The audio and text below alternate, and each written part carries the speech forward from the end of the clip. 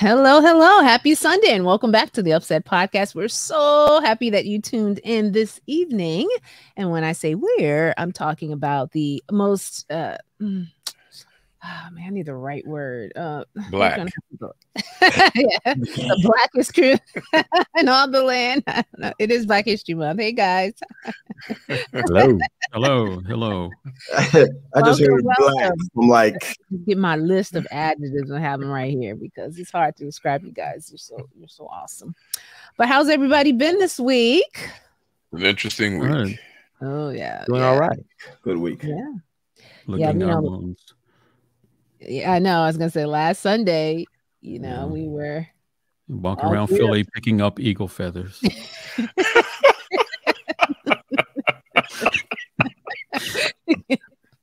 I know. I mean, I have to say I was sad. And I'm not like even a huge football watcher, like I was saying, but even I watched and I was sad. And I was like, wow, I really caught the fever. And then I felt the disappointment, as I'm sure many others did. But But I that was wasn't one of the dis- you know- greatest You know, games that I've seen in a long yeah, in my that's what other lifetime. The people best saying. football Yeah, game I've a ever pretty seen. good game to watch. Yeah. yeah. I mean, it was a great season. The Eagles did incredibly well.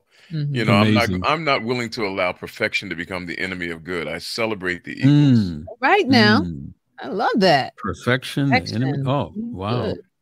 Right. I want you to go to the nearest sports bar that are Eagles and, then, and say Yeah, that. that's right?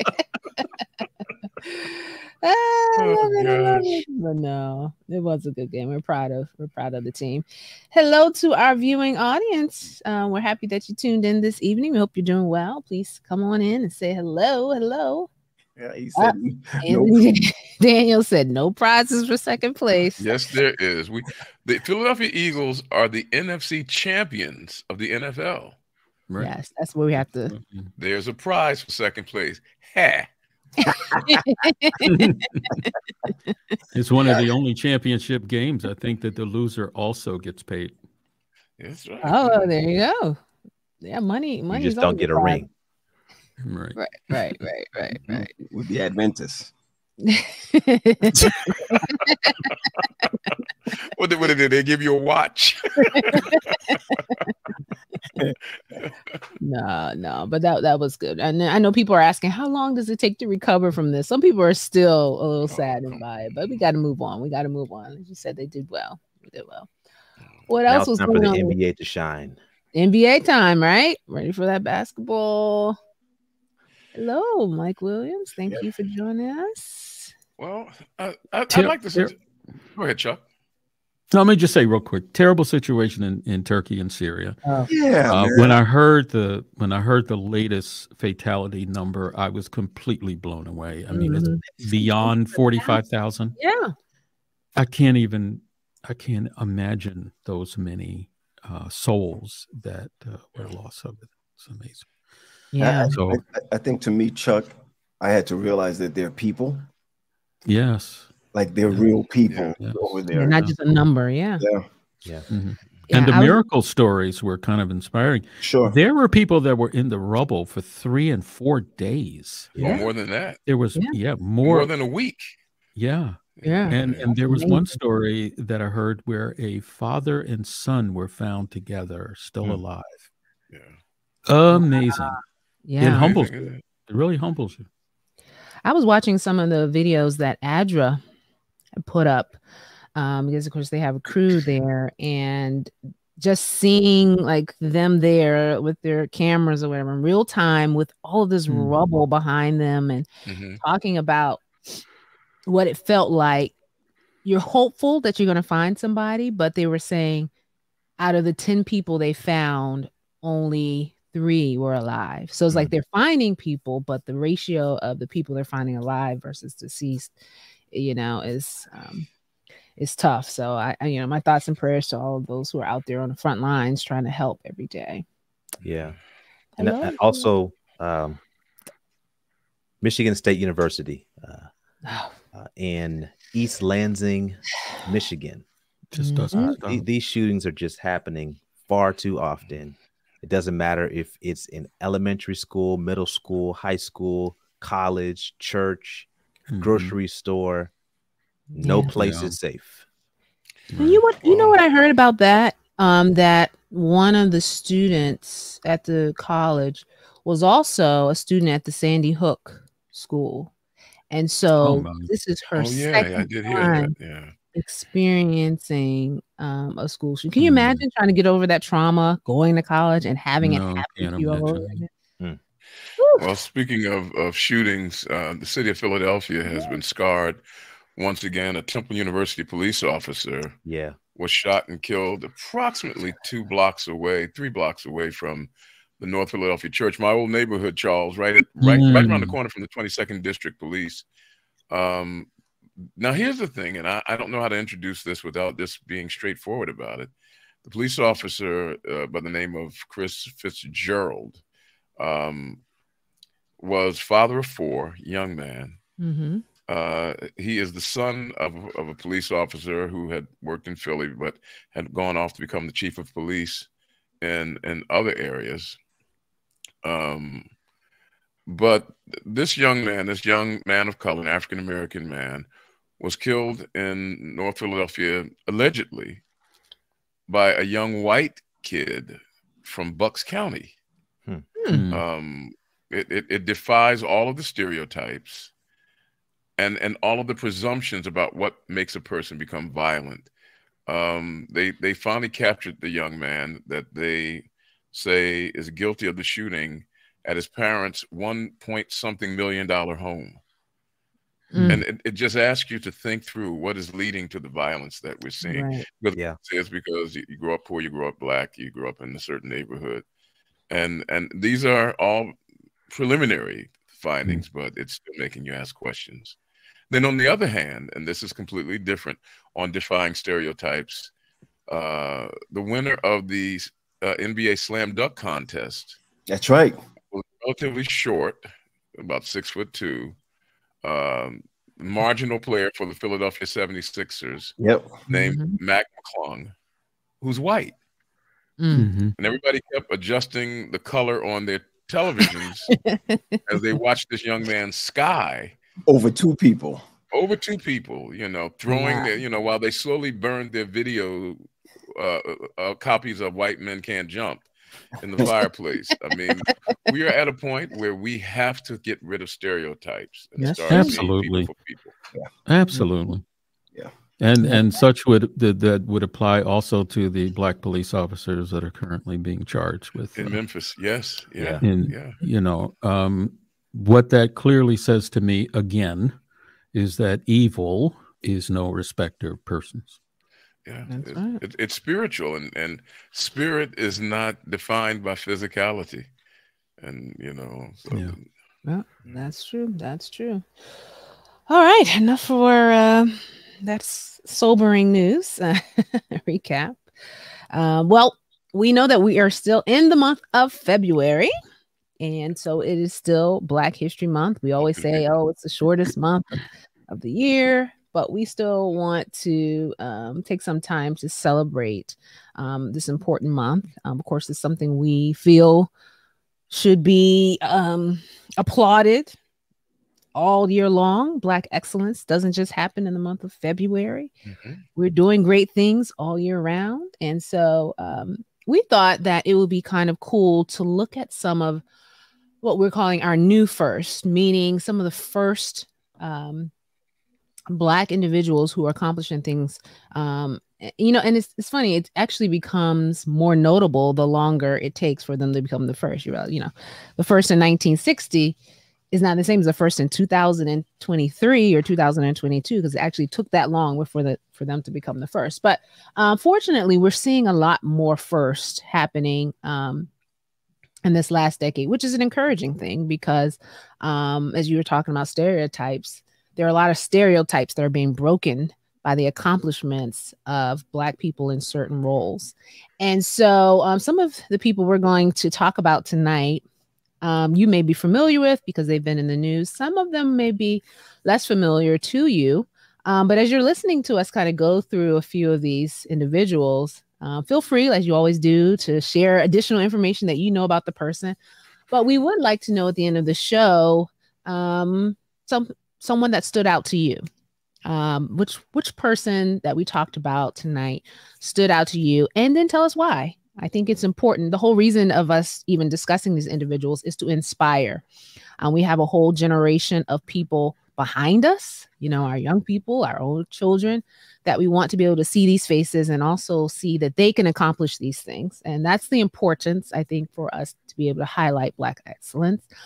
Um, because when we see people doing things, then we know we can accomplish them as well. All right.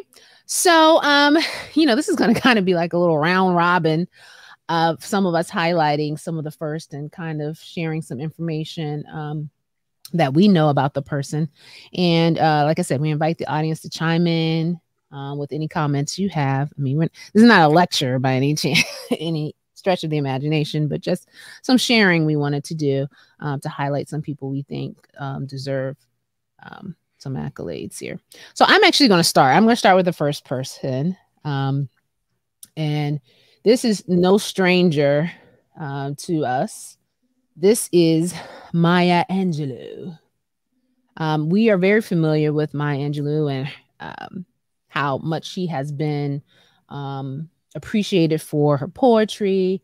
Uh, we know that uh, she was a dancer in her younger years, um, but she's also the first Black woman to be featured on a United States quarter. Now, and, this is not to take anything away from her. Um, she is on the back. George Washington is still on the quarter, just, just so we know. She, George Washington is still on the front of the quarter, but am I frozen? Like I feel like. yes, you are. okay, well, just bear with me until everything jumps back in, but you can still hear me, so I'm gonna keep going. Yeah. Um, on January the 10th, 2022, um, she it was released that she was going to be on this quarter, and and it actually came about because of Congresswoman Barbara Lee. Um, she is the one who um, fought for this bill because she felt like phenomenal women who have shaped American history have gone unrecognized for so long, uh, particularly women of color, that she thought that Maya Angelou deserved to be on the back of this coin. So um, as an author and an activist and the first Black woman to appear in this quarter, you see that, and I think you can see it in the picture here, that she is on the tail side and her figure is standing there um, in front of a bird silhouette, uh, which is a nod to um, one of her uh, infamous works. So it's kind of kind of great to see when we get when we get on money. You know that means something, right? Isn't that a big thing when it is? It is. When we get on money, that's that, that says a lot. You're when they were the president of the United States. So Mhm. shout I mean, out. Good thing is they put on a quarter because if they put her on the, the next coin, they would have said she's only worth a dime. So hey Marlena. I'm sorry. I can't believe I'm still frozen. Okay, you know what? Marlene is the first black woman to come in after the start. of- of we said following podcast. you, Tally. we be like you so much. Oh, When when when was that coin minted again? When was it? January the 10th, 2022. I see. Okay. And the interesting thing about it is it's saying that in 1999, I guess they launched this 50 state um, coin program. You guys remember that when everybody was trying to get a quarter that had the states on there? Yep. Uh, and they were saying that that was Mhm. some of the, that was one of the biggest heights of Hmm. coin collectors like that, you know, that year, 1999. But the second one was actually in 2022 when Maya Angelou came on the quarter. So um, she actually uh, made a big difference there. I'm gonna stop my camera somewhere. Okay. All right. So Well, you know, Sorry. just to, to add to that, and it, it has been somewhat disputed by some historians, but uh, for years it was believed that Maya Angelou was the first uh, black conductor of a San Francisco streetcar, cable Hmm. car. Um, Hmm. And this would have been around 1944. There's some who say that there might have been someone earlier, but at the very least, she would be the first woman. And so she drove a streetcar. I believe it was named Desire and uh, she might have been the first. Are you serious? She was the first streetcar. Yeah, I mean that, that was the claim in the book. I know why the cage bird sings. Okay. She made the claim, but Mhm. it, it's It's been it's been repeated uh, more than once. Gotcha. It's nice to see Tasha alive and well again. Right. Yeah, I don't I don't know what that was about, but anyway, we move on. All right, uh, Pat, That's me. tell us, tell us about one of the first you want to highlight. We'll we'll go to to that person. I, um, I, Tia Norfleet is is is you know Tally. I don't know Tally. Tia Norfleet, and why? I, there's one thing I was never able to understand uh, uh, race car driving. I just I just felt like you know I remember Richard Petty. I remember um, I just all Say it. drivers- Say it, Dale Earnhardt. Yeah, that's right. Uh, Earnhardt, Yeah, Charles is into this. son, all of that. Absolutely. and um, but I never knew, and and I think we all should learn how to do how, how it works because I think you get points per um Mhm. uh, per race or something like that. Right. Um, Right. but she was the first and only African American woman to hold a NASCAR driver's license. Very and nice. uh, her father was uh, his name is Bobby Norfleet, who is a Mhm. race car driver, like of course, Okay. race car driver. But uh, she um, she started driving from the time that she was 12, 14 years and 14 years old, and um, and um, she hasn't completed any races, but she's recognized. And I just wanted the crew to know that we have a black woman who gets behind the wheel and step on the gas Yeah. than Marlena in You know, um, in traffic. but you know, with that pose, that oh boy, I might get in trouble saying this, but It's all right. That is that is the pose of a black female driver, period. Hmm. That says, "Get the blank out of my way Right. Right.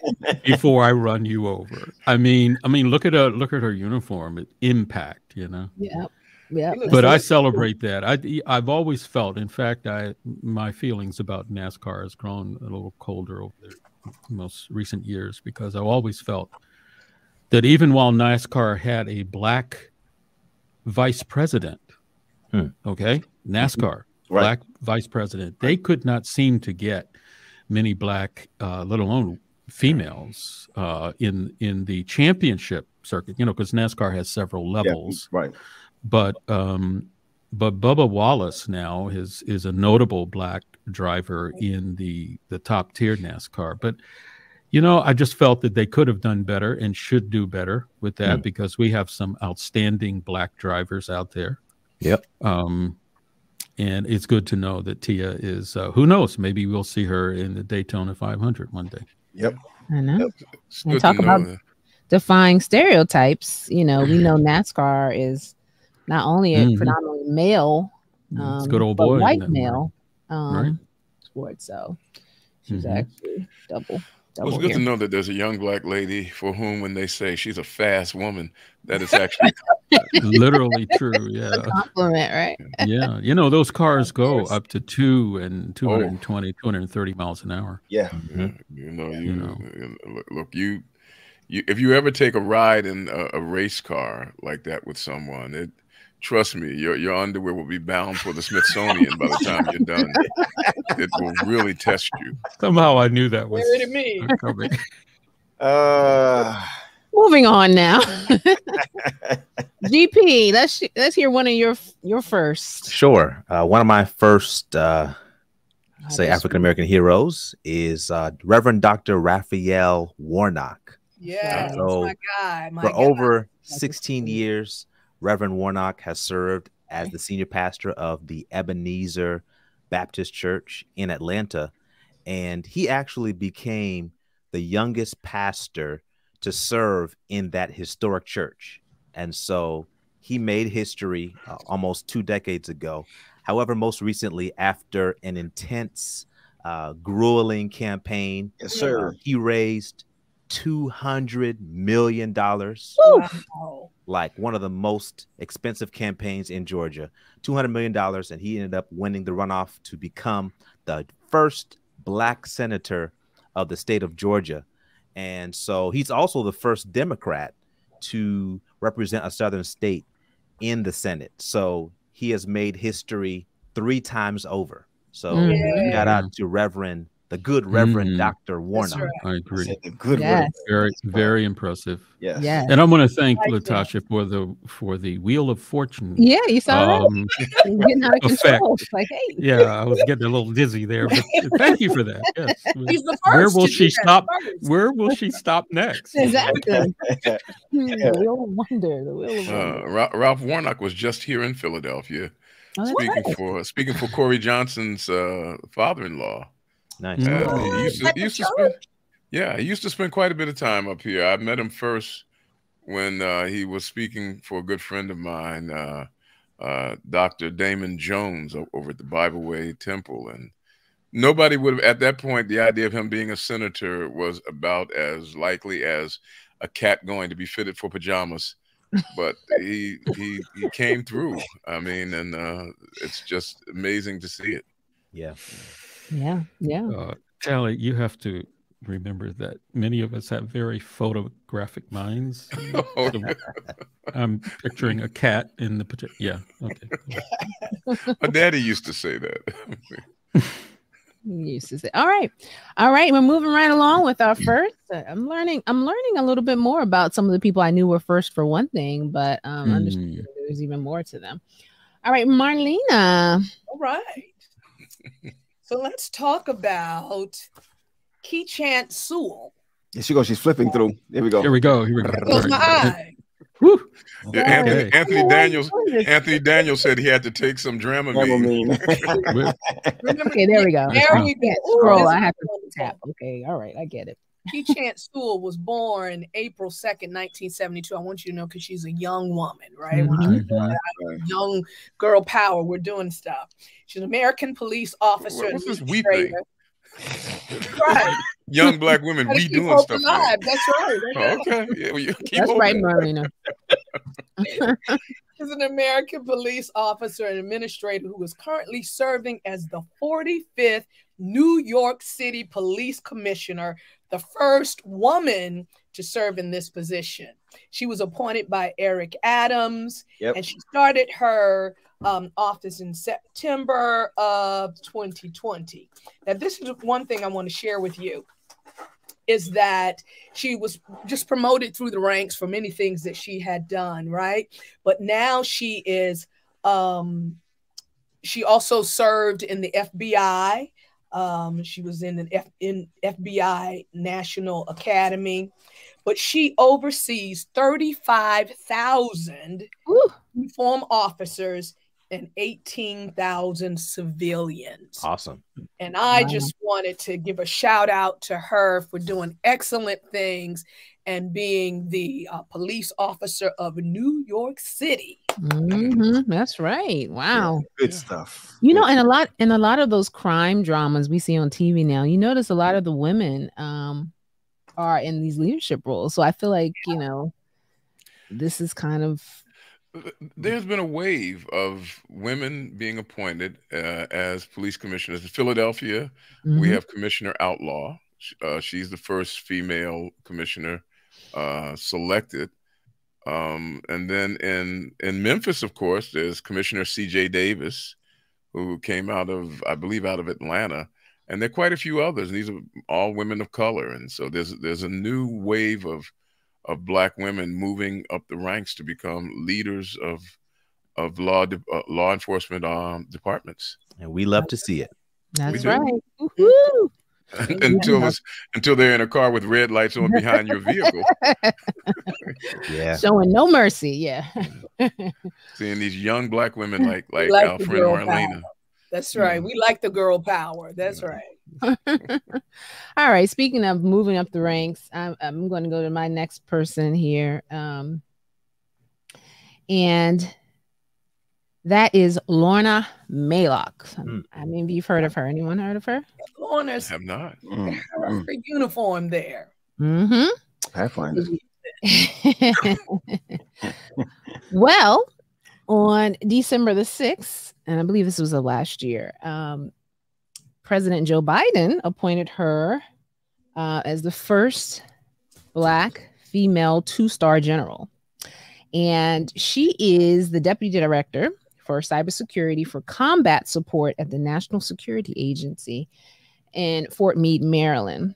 Now, Lorna was actually born in Jamaica, but she Ooh, ooh, immigrated. ooh. She immigrated to Brooklyn, New York. Pat, you know a little something about Brooklyn. Um, when she was 17 years old, and that was in 1985. And it's about three months after she got there to Brooklyn, she um, joined the Marine Corps. And so she pretty much, you know, that's how she started her career. And she has served in several capacities, such as the Marine Corps Chief Infor- Information Officer, the Director of Command, Control, Communication, and Computers. So she is no stranger to kind of being in charge and knowing what to do. Um, so, one thing about the Marine Corps, for those who don't understand why this is such a big deal, is um, the Marine Corps is actually one of the smallest military branches. And Very it also has the lowest percentage of women Yep. among its troops at 9%. Mhm. So you're already a minority in the Marine Corps, but yet you uh, reach the status of two star general. And so we're so proud of her um, and congratulate Well, her. You know, as I know the military, uh, in terms of their ranking and what have you, um, the Marine Corps, um, they're they're pretty sharp people. Um, very educated, um, kind of the elite. And during battle, um, which I hate battle in any circumstance, but generally the the Marine Corps are the first ones to Mhm. first ones in uh, Mhm. because of their uh, specialty and their elitism. Um, so I, you know, it, it's it's amazing and, and wonderful to have a black female who would be a part of all of those logistics. Um, Absolutely. When you talk to about chief information officer, that that's a big deal. Yes. Right. That's, That's- small business. Yeah, that's commendable. Yeah, and and the other thing too is o- only three women in the uh, Marine Corps history have picked up the rank of lieutenant general, and all of them Hmm. are retired. So Hmm. uh, she, she I just is- wish those uh, those government photographers could have taken a better picture. have to be serious. You can't smile. Serious, girl, Two serious. two star general can be nice. They just smile when they kick you I around. see that many smiling. Charles, Charles wanted to see a picture of her doing like this. Uh,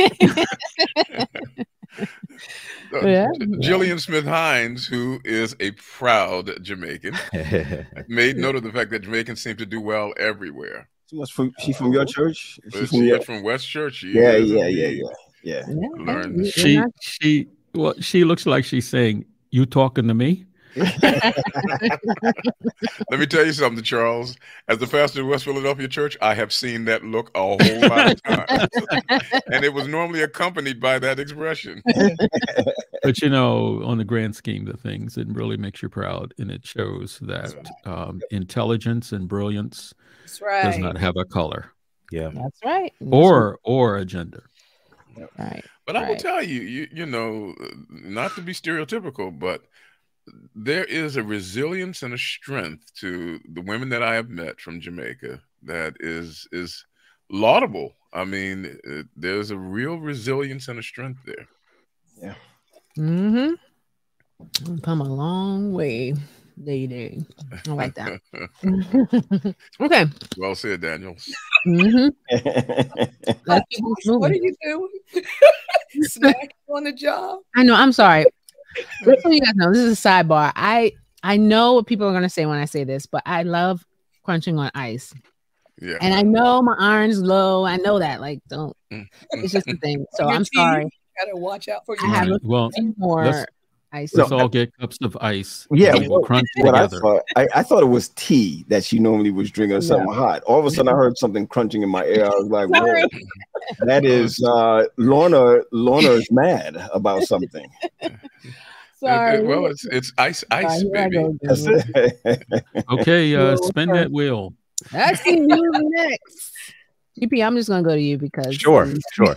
Uh, my next person is uh, where, where, Kamala Harris. What? Kamala Harris. Okay, all right. so Kamala Harris is originally from Oaktown, aka Oakland, California, Mhm. and Oh, she I spent thought you- the first two. Well, that's where she grew up, but she is uh, half black and half Indian. Uh, she spent the better part of two decades of her life serving in the public sector. Now, she was the first Black woman to be elected district attorney in California. Mhm. All right. And Yep. then she became the first woman to be the attorney attorney general for the state of California.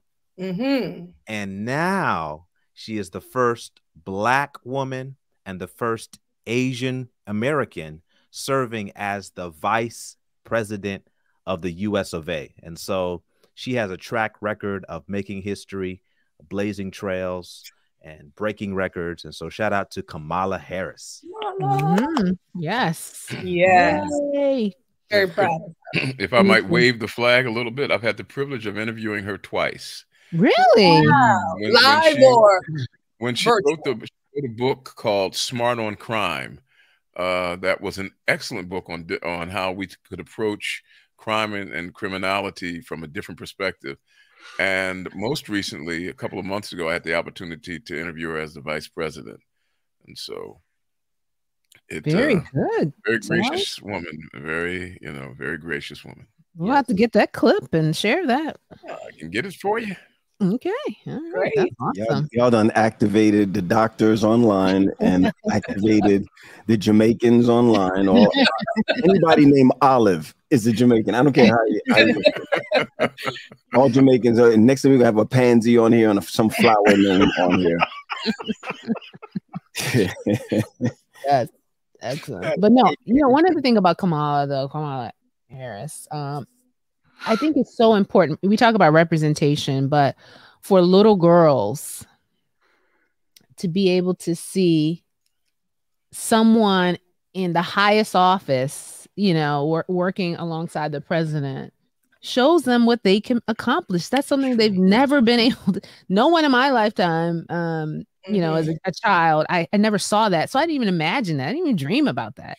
Mhm. Um, so it's it's such a big statement to have her in that particular office that you can actually help run the country um, as a black woman. Um. That's that's to our benefit because you you know I mean you would have been vice president somewhere rather than serving us as communications director had you known all of the things that you I could be know, right? Too late. It's not too late. She can still be president. Oh, of Allegheny East. man. Like not in the United States, right? I got a lot of making up to do. There. All right, so we're gonna keep moving. Um, Pat, we're gonna go to your next person. I think I, oh come on. I mean, I'm all over the place. Where- So where we tell going? me what's Where we going? Uh, Hollywood Squares. Hmm. Lillian. What about Liv? Lillian. Yeah. Lillian is good. Lillian is good. Um, now my timing is off because I tried to keep it close in the decade, but it doesn't matter. I was as I was reading through it, I was extra, extra, extra proud of her, who um is the first African American female to hold the rank of Rear Admiral in the United States Navy. Um, Nice. you have to be Mhm. appointed, of course, with that by the President of the United States. And uh, she's from Maryland. She's from Maryland, worked her way through Maryland, Rockville, Marion, Maryland area, and um, and got commissioned out in Rhode Island. Uh, went to Lincoln University in, Pen- no, it's not Philly, it's Pennsylvania, in Pennsylvania Mhm. and um, uh, her duties as a legal officer, uh, s- s- she was springboarded to uh, rear admiral. So it's good to see that, and it's funny, just like the uh, the one that Latasha was dealing with. What's her name? Lorna Mahlock. Yeah, she came through. Her commands was with a naval computer uh, telecommunications area, and Mhm. um, Hmm, all seeing a trend. Yep. Okay. yeah, they all came that way. So like everybody's coming through communications, Mhm. and then after communications, you know, you change the constitution, and then they become president. Tally, you ain't listening, Tally. I thought I had you on that. Nah, you, I know. I, I I'm, was just proud- very, very proud of her. I'm listening to your last show here. I'm just, that was last show. So Chuck, I, I really wish that they um she has a little smirk or a little smile. So Mhm. we need to change the Yeah. photography for them They also. do? This is Yeah. probably an older picture. Maybe they smiled a little more back then. Yeah. Yeah, you should use a uh, higher resolution lens next time. Yeah, I, yeah, Like I said, this all about it. But I am proud. I'm proud to know that he's rear admiral in the Navy. In the Navy. Mhm. Yes. Yeah. Yes. All right, Lillian. Yeah, yeah. Mhm. All right. All right, let's keep it moving with this wheel here. Oh, okay, sorry. Trying not to scare you guys. All right, Marlena, tell us about Jennifer All King. right. More girl power. Jennifer Oh, King, here- born, born August 6th, 1984, is an American football coach who is the assistant running backs coach for the Washington Commanders, All right. All right. National Football League. Hmm. When I was studying about her, it, I mean, just listening to her history, she is a former two sport athlete at Guilford College, where she played basketball and softball. But listen to this. She she's from North Carolina, Eden, North Carolina. And while she was at Guilford College, right, she obtained her degree in sports management. Mhm. 2006. She was a part of the Women's Football Alliance. Sorry, I got my page. Where she was a quarterback and wide receiver for the Carolina Phoenix team from 2006 to 2017. She was a defensive back and wide receiver for the New York Sharks in 2018 and the safety position for the DC Divas in 2019. All right, they won the um, DC Divas uh, or the Sharks. Sorry, the Sharks won the 2018 WFA Division Two championship. She was a part of that, Mm. and then she received a, a degree from Liberty University Hmm. with a master's degree in sports management. She is the first black female to do assistant coaching in the NFL. Wow. Oh, well, let me. Hmm. Yes. Well, well, certainly this wasn't flag football. no, no, no, no. no. Mm-hmm. So Yeah. she played those positions. Yeah. Women's league. Yeah. Mm-hmm. It's Mhm. amazing she had enough brain power left to to get that education. Mhm. Mhm. Oh, that's that's another show right there. yeah, the yeah. effects of As much as I love football, I love my Eagles. It is a brutally It is. Oh, yes, it is. Violent game. So, Yeah. Mhm. Yeah. on the other hand, her acad- her uh, academic uh, achievements are well worth uh, noting. So she's not only an athlete, but she's an academic as well. So Yeah. kudos to Jennifer. And the interesting thing is, uh, just because you can play the game doesn't mean that you can coach the Coach game. it. There you That's go. right. Mm. There are some Right. coaches who are the best at what they do, but But they they do. can't play a lick. Mhm. Wow. For her to be able to play and coach is truly impressive. Good, Yes, it is. good stuff. Good Wow. stuff. So when they when they ask me to to be a, a preaching coach to some people, That's because you suck. Yeah. No, I was wondering Hey, about that. I was wondering. But I, oh my goodness. Jennifer King is actually a nice segue into um, my next person, which is Maia Chaka. Have you guys heard of Maia Chaka? She No. was um, Seen her. NFL's first black female referee.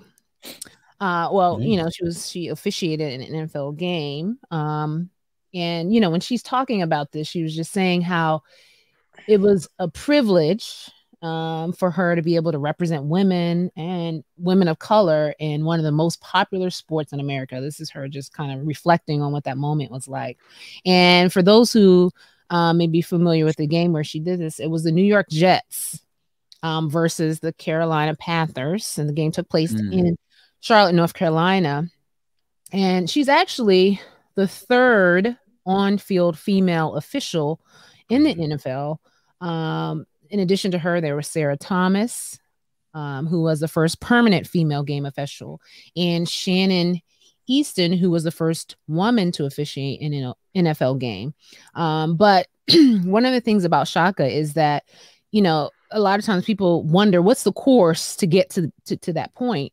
But she served um, serves as a health and physical education teacher, and she spent Mm. time as a referee for the NCAA um, Yeah. conference, Okay. and um, she also had a short-lived. Um, she was in the Alliance of American Football in 2019, uh, but then she entered the NFL's officiating development program in 2014. So d- who who knew that existed? I mean, I guess only those who Mm. want to get into that. It's a program that you Right. actually have to um, go through to be considered. Um, and, and what it does is it offers top officiating prospects in the collegiate ranks. So, you know, because she was working with the NCAA, NCAA um, it gave her ex- exposure to in-game experience, which then qualified her to be able to do what she was able to do. So, um, it's really um, a great accomplishment for her, and also a trailblazer for other women, particularly women of color, who may be interested in pursuing something um, that you don't really see a lot of women doing. So, I would love to see a play a play where she pulls the yellow flag and a player doesn't like the idea that they Mm. been called and see them confront her about that.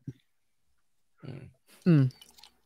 No, I'm I'm serious because you you know how players can, you know, they get angry because oh, you know, they feel Oh, it yeah. wasn't pass interference, wasn't pass interference. What are you doing? Or even coaches. Um, but can you see a coach coming up to her three inches from her face and yelling at her? Mhm. mhm, yeah, I think I- she, I would I'm just, just imagining a coach coming up to her and and ready to just light into her and say, uh, never mind. yeah, yeah. she'd make she'd have that Tia Norfleet pose that you spoke of earlier. Yeah.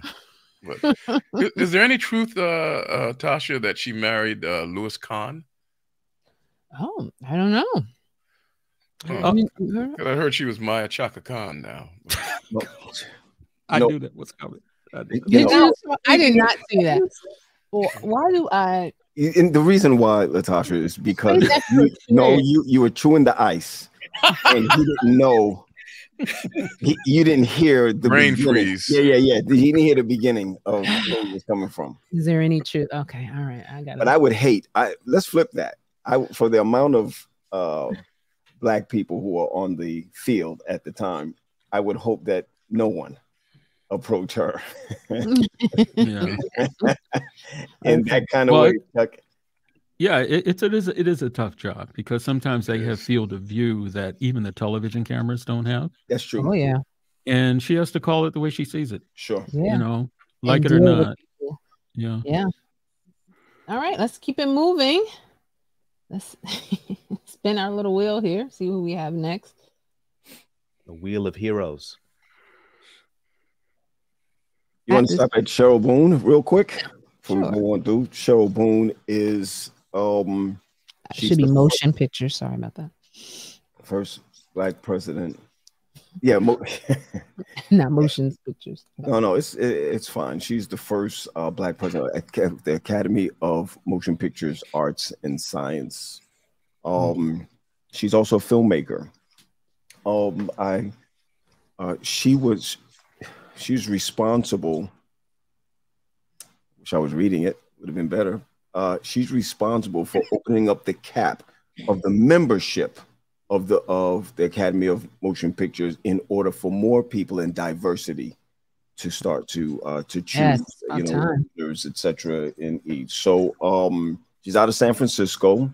Um, um, she's uh, worked in the publicity communication side of uh, Columbia Pictures, and and uh, directed and promoted uh, in Paramount Pictures. So she was among the the um, the major uh, motion pictures, and just uh, and basically worked her way to the to the Academy, where they elected her twice now to be the president. Nice. Mm, Cheryl Boone. that's a lot. Wow. Never knew that. Yeah, and we definitely need representation there. Um, and so, and that's one of the reasons why it's important um, for people of color to be in leadership roles because we're sensitive to the lack of diversity that we see in certain places, and we can make changes that sometimes our counterparts don't even realize or maybe turn a blind eye to. So, shout out to Cheryl. Cheryl You know, I I, I may want to insert that, uh, and, and this might, might be another show, but if you follow a lot of musicians, especially jazz musicians, uh, black jazz mu- musicians, male and female. Um, the, many of their stories say that they do much better in foreign countries than in the United States. Mm. Um, many of them go to Paris or Germany, where their music is loved and they're treated fairly. But you know, especially the, the pioneers here in the United States of early jazz music, they, um, you know, they uh, they just don't get the recognition in the states. Um, but the one thing I can say about Cheryl Boone is a good. It's good that she is a professional in the Mhm. field Right. uh, who better can judge other people's work than someone who knows how it works? Right. Yep. Who's been through the whole process. Yep. Shout out. All right. We're going to someone that, for those who watch the Super Bowl, You are the next. Uh oh. The prize. is Bad yours. gal Riri. All right. if you watch the So- halftime, Uh, Rihanna is known worldwide for her chart topping hit songs like Oh Na Na, What's My Name? Um, by the way, in case you didn't know her name, it is Robin Rihanna Fenty. That's Mm, right. Her and name didn't even know is. Robin I didn't know her Rihanna name Robin. Yeah. Fenty. Mhm. and uh but it wasn't her music that made her successful because the reality is um, she is successful as a musician as a singer as a performer but the bulk of her fortune comes from the value of fenty beauty that's right Mm. fenty beauty which she Mm. founded in 2017 uh, she sought to create a cosmetic company that made women everywhere feel included so Mhm. the products from the Fenty line come in a diverse range of colors, and it includes harder to find darker shades for Hmm. women of color. Where And her product also- sold. Yes. Also, her models that display her products are also equally diverse. And so Mhm. Rihanna not only created a product, but she met a need. She Mhm. met a need. And as a result, um, she is now worth 1.7 billion dollars from her cosmetic line alone, not Wow. other ventures like her um her um there's a apparel line for I guess underwear or other things that she sells. That's a whole different number, but just the cosmetics alone, she's worth 1.7 billion dollars without any of her songs or music. So that's commendable that she filled that need and uh like they say, the riches are in the niches. So she found her yeah, the riches are in the niches. There's one of those. Yeah. And so Oh, you wow. asked Marlena where where it's Her sold. I products mean, is sold. Yeah. she's in, in all like the major cosmetics. She's in Sephora, Ulta Beauty. I'm sure, of course, her online store. But um, yeah, I've heard great things about Yeah, her. Just go to her website, Google her name, Yeah. go to her website, and you can shop right there. So you're saying, are you saying that we are now promoting, um, cosmetics. for the pastor, Marlene? No, I, I'm just. I was I'm- thinking Tosh and I can do a little side thing. which which red is your red? we can go into cosmetics, you know, I light know, right? cosmetic for the Adventist population. yeah, yeah. The, the next to Mm. invisible cosmetic. Mm. We call it pure beauty. I, I, Mm. I, I re- now, wasn't there a time when Adventists didn't wear makeup? Absolutely. There was a time. Okay. Mhm. Yeah, I grew up looking like Ellen White. Sure Bring did. back the days of yay or nay. when we could plainly Do you really want to bring back those days, Tally? You know what? I'll be I'll be really honest with you. When I joined the I joined the church as just about 16, and then when I went away to Oakwood, I had never seen beauty that was so natural, and uh, it was exquisite Hmm. to me. I remember that very Right. well. You know, Mhm. you know. Mhm. Uh, yeah, Benjamin said, "Man, Pat, the '90s SDA conservative in me definitely wondered what's being promoted here." Listen, Mhm. you can say what you want about Rihanna, but she is a business woman who is That's killing right. the game, and she ought to be celebrated. GP, not just that, man. He's wondering if we're gonna we want to send our kids to to to the army, to the navy. Uh, we, we, we're pushing the armed forces. Nah, Benjamin, we good, man. We just doing the first. First, first blacks. Yeah, like Tiffany said, yeah, some people need it. But Oh wow, people need it. Wow. and I think it's important, you know, and of course we'll summarize it at the end, but it's not necessarily what the people we're highlighting have have done more so than them finding their passion or something that they love and and working hard at it and getting to the top. I Yep. mean, and so that can be different things for different people. It, it means that whatever you're doing right now, you can be number one, or you can get to a point where you can become the first, and you can, you know, I mean, that's, you know, we're not saying to emulate anybody on here. That's that's put that disclaimer mm-hmm. out here, but find your thing and do it big. I mean, Yeah, that, Make the best bourbon that you can. Mm. is that your and thing? Especially Taj, if, if I can just add, you know, being Yeah. African American, oftentimes the things that we do are not promoted high. You know, you, you don't get recognition, and we don't know about many of them, and that's why this show is so great, just to point out what people have done. Because I didn't know many of these people, you know, until you know tonight's show, and and I think it's great to celebrate what mm-hmm. other uh, achievements others have made and you could be the next first african american to That's do right. something large and That's so we want to celebrate you too That's right. That's right. That's right. I believe and that. we do have um one more marlena uh well a couple more but um sorry lost control of my mouse so again. you missed my guy. Yes yes.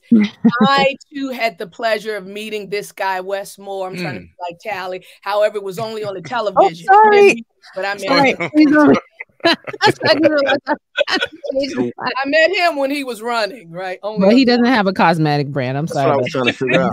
Oh His- wow, yeah, his- I was going to As say they say, his Ron- face his face looks beat. Oh, I, I was going to say that he and he and Rihanna could talk about a typo right and have Oh, two billion dollars. All right. All right. well, he is not into cosmetics, but I tell who he really is. All right. yeah just look at his face born um in 1978 so he's a very young man he is an american politician investment banker his history of um a author he wrote many many books television producer and a nonprofit executive um and is currently now serving as the 63rd governor of maryland Mhm. He was elected in 2023. He is a member of the Democratic Party, and he is the third Black person to be elected as governor of any United States. Mhm. As of 2023, the only incumbent. He served prior as the lieutenant governor just recently. Um, he is the fifth American U.S. state governor overall. Um, as you know, uh, I think there were only four black governors prior to him, and one was Douglas Wilder of Virginia. When I lived there, I had the pleasure of meeting that young man. But I just want to celebrate Wes being a young man in his 40s who is now only the fifth governor in the U.S. history as a, a black male. So we celebrate him right there in Maryland. Yeah. Mhm. shout Yeah. out I have a question for for Nick Taliaferro because I know he works in politics and talks to a lot of these folks. Why do we see so few governors but so many black mayors? Why is that?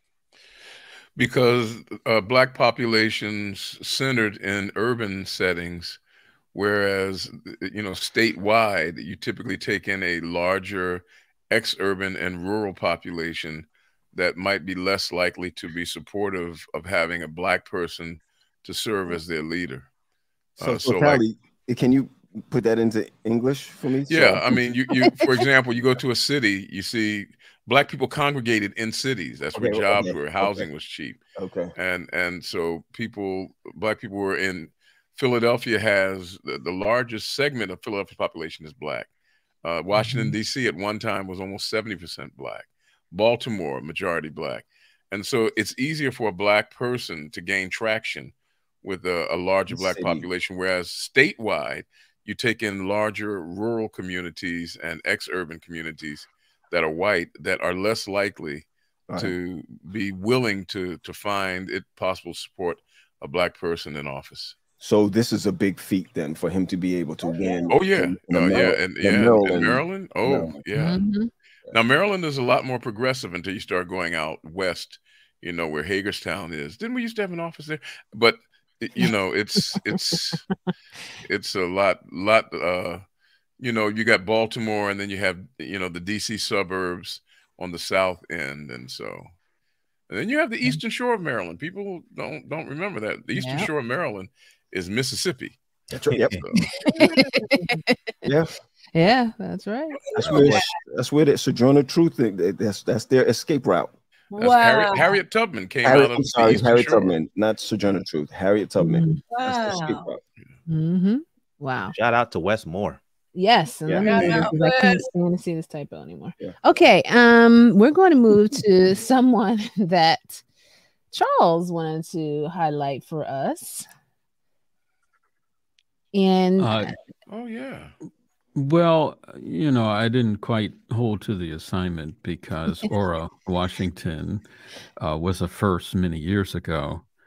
Um, but I've come full circle on her. I know last last year when we did, um, you know, dedications during uh, Black History Month, I mentioned Ora, Mhm. just kind of in passing almost. I, I felt even when I mentioned her then, I I could have talked a little bit more about her.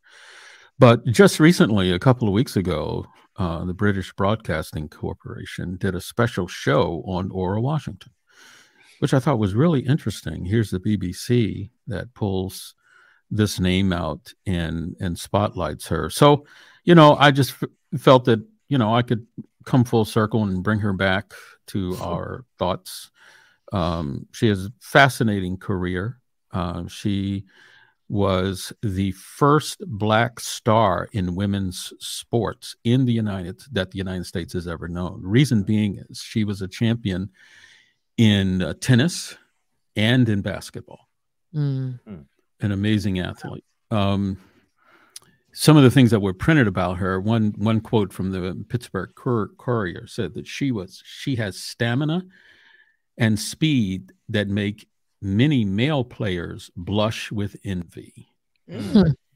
she was uh, uh, amazing. Um, she was the f- she was a fifth of nine children. Okay, of James and, and Laura Young of Washington, who owned a farm in a small town in um, uh, in File. I've never heard of a town like that. About midway between Richmond and Washington. Um, she she moved from the segregated South to Philadelphia Hmm. uh, where she picked up tennis at the YMCA Hmm. in Germantown section of Oh. Philadelphia. Mm-hmm. Germantown. Um, she was a natural, um, and after moving to Chicago, where she worked at a, as a hotel maid, Washington won her first national singles title in 1929, and for seven straight years, there was no stopping her Hmm. her superiority superiority is so evident. Uh, there was a black uh, paper in New York uh, that said that uh, her competitors are frequently beaten before the first ball crossed the net. oh wow.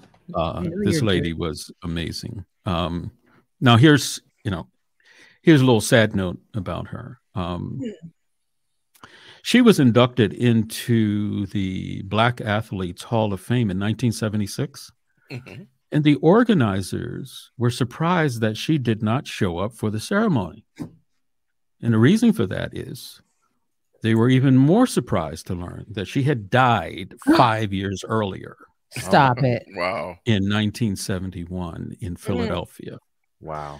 Um, however, uh, it ends on a good note. Washington was included in, inducted into the Basketball Hall of Fame in Springfield, Massachusetts in 2018, partly through the efforts of Claude Johnson, the executive director of, of um, uh, the Black Fives Foundation. So it has a happy ending to some extent. Um, But I just thought it was interesting. She was a private person, very private. She didn't like a lot of spotlight. She didn't like a lot of celebrities. So she was very, very quiet. Outstanding athlete in both sports.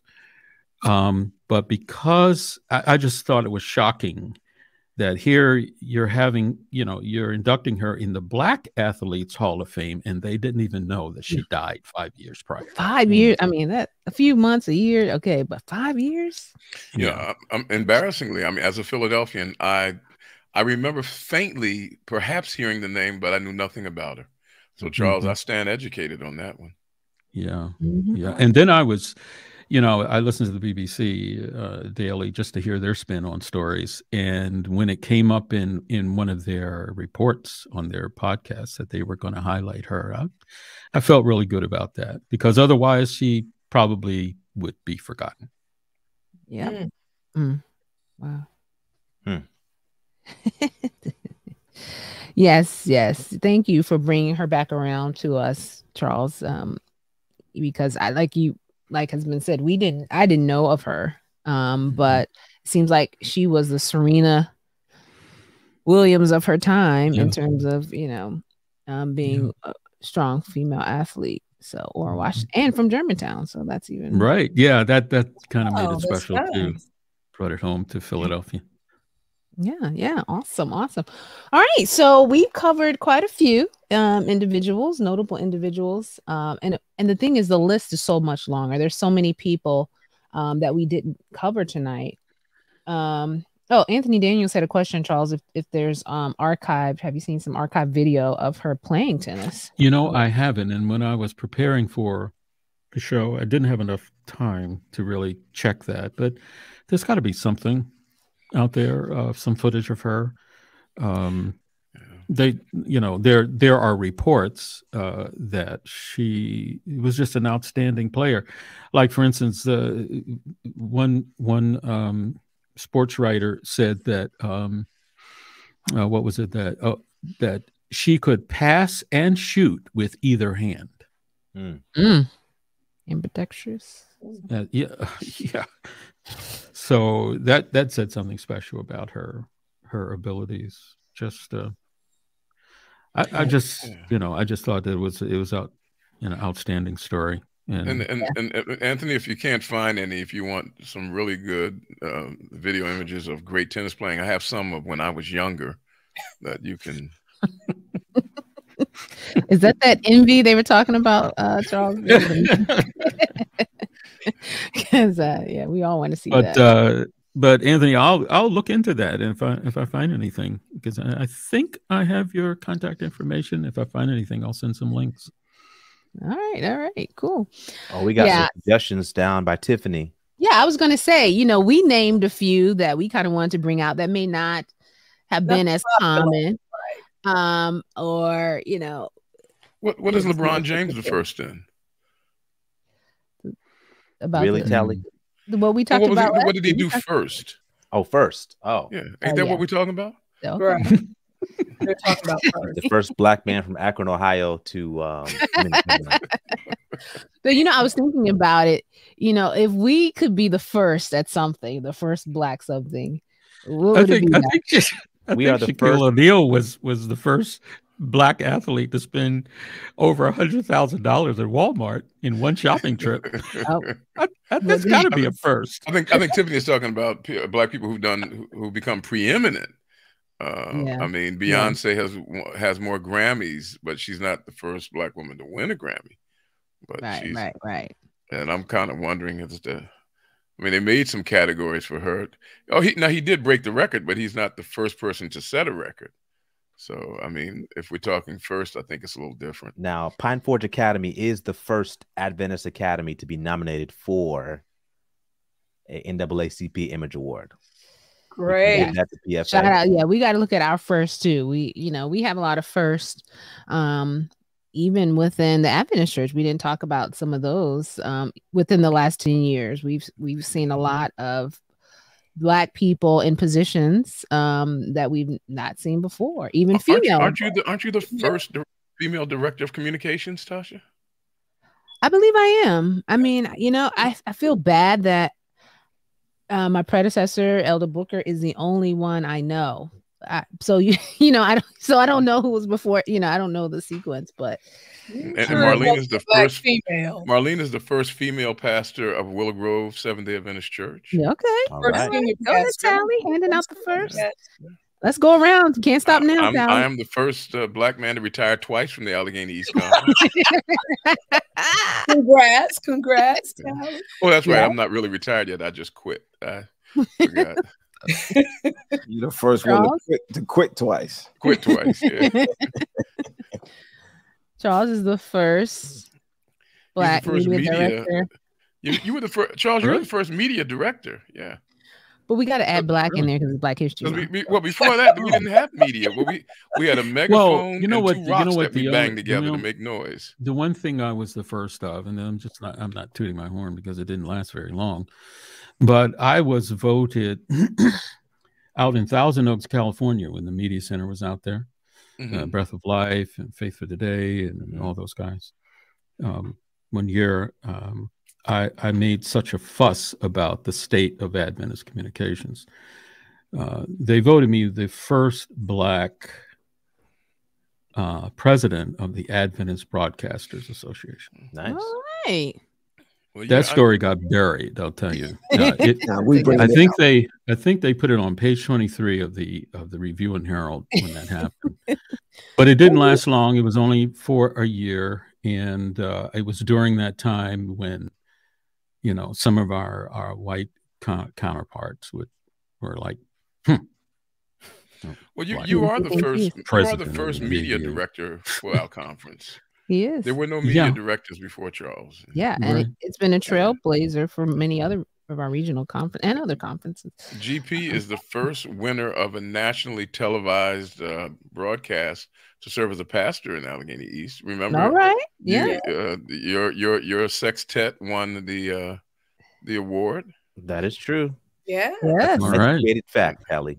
Good job. Our bass and- singer here. And and Pat is the first twin serving uh, in the elected office in the Allegheny East Conference.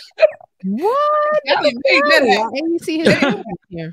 there you go. The First Yeah. twins to hold the First black conference twins to hold that. Yeah. yeah. Nice. Um, You that's know. impressive. The I Lord like looked that. down and said, "Don't do that again."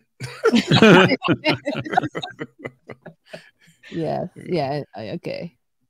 Yeah. Awesome. Awesome. Well, see, and I think that shows. Oh, I got that- one more. Oh, go ahead, GP. The Upset is the first uh, podcast launched by a regional conference. Hmm. Really? Is that right? I don't know. Believe so. I don't know. Really? We can say it because it's on this, right? okay. Like, really? We have Might to be put the true. little I asterisk. think I think uh, it's true. I don't might think they true. I don't think they had I don't think a conference had a a, a a podcast that was certified and endorsed by the conference. You've had some renegade ministers who who put out, you know, pirated podcasts of you know, stuff like that, but nothing that the conference uh san- sanctioned. mhm. Yeah, and we don't want to lose our sanction. Um, so we're gonna just wait a while. as much as We can. we're gonna behave, but no, this is this is this is fun. Um, because I think it shows that we all have potential to be the first at something, and um, and it makes it paves the way for those behind us and i think that's that's the important part. Um, we're showing others what they can accomplish because we've been able to do it and i think that was the main reason for highlighting some of these um, individuals that we have and we hope um, that it would be that it's inspiring to those of us watching to kind of look into other people who are doing um, major things because you won't always hear it on the main new, you know the news um, it won't always show up on the headlines uh, and so it's great to kind of look at some of the first um, i think there's like list online you can even google first blacks um, to accomplish xyz and get a whole list of them so um, Mhm. deep dive and um, be inspired by everything that black people have contributed um, to this world Well, All what. What we strive for is a day when being the first black will no longer be relevant. Yeah Right. there you go Mhm. that's right that says it Absolutely. yeah that says it Absolutely. yeah. I think we should also uh, try to encourage our young people um, Mm-hmm. because sometimes, you know, they cower or step back and say, "Oh, that's not for me," or "I couldn't, I would never be able to achieve that." And I Mhm. think we need to remind them by highlighting others that you could be the first of almost anything you want Wow. to be, you know, um, and by using, uh, bringing before them the names of men and women who were the first in their area is encouraging and lets them know that yes, they can do. Yeah. Mm. And the goal is that by becoming the first, they won't be the last. So it's not to just have that title, Oh, but you're like hoping others will come behind you and follow the same path. So um, thank you guys so much for the dialogue. Thank you for our yeah. Yeah, I did too. Thank you to our um, viewers uh, for chiming in the chat. We always enjoyed that, and uh, we appreciate you kind of going down this uh, Black History um, Hall of Fame uh, with us mhm. this evening. And next week is a big week for us, guys. It What's is week? Okay. Our second birthday, the Upset wow. Podcast second birthday. It doesn't even Hmm. seem like two years have passed. Wow. Um, but next week, Oh, now we're toilet trained. We're also in the no stage. yeah, terrible too. Uh, Still need diapers though. Still need diapers. Every once in a while, we just go on ourselves. yeah. Oh no. this analogy needs to stop right now. Um, Yo, hurry up and end this. It's going downhill. but we're inviting you to come back next week because we plan to have a lot of fun. I mean, it's next week is going to be a fun, interactive show. Uh, we have some new things we want to reveal to you about um, the future of Upset, some ideas that we've talked about, uh, maybe some products that we've been promising. Um, with, and ice, with ice in it. Go ahead. and uh, our goal is to interact with all of you. So um, the invitation still stands. If you want to join us live and be in one of these boxes, mm-hmm. write us. There you go, Make it- Tim. Make it There you happen. go. Upset at Been aecsda.com. be a guest. Do you want to be a guest host next week? You're one of our faithful viewers. Email Mhm. us and we'll see if we can make it happen. All right. Upset at aecsda.com. Yeah. All right, And guys. we, we will pay you twice as much as we pay all of our Oh yeah. Oh yeah. twice as much. You know what, Tally? Yes. Twice is not good enough. Come on, let's go up a little bit. Three, three times. Yeah. Three times. Yeah. do But zero, you know what's so your one, amazing move your about that? zero, Move the decimal. What's amazing about that proposition tally is that zero times anything is still zero. Yeah. Right. It's like playing Very generous of Greater is your reward in heaven.